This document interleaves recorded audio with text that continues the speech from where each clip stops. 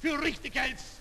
Ob du glaubst, dass ich fleißig gewesen bin, dass ich gearbeitet habe, dass ich mich in diesen Jahren für dich eingesetzt habe, dass ich anständig meine Zeit verwendet habe im Dienste meines Volkes. Gib du jetzt deine Stimme ab. Wenn ja, you consider my work is right. Whether you believe that I have been diligent, that I have worked, that I have worked for you during these years, that I have spent my time decently in the service of my people, cast your vote now.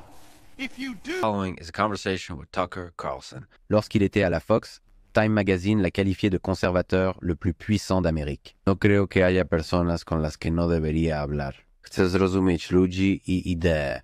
Bunun yerine her zaman gerçek fikirleri ve bunların köklerini ifade ederim.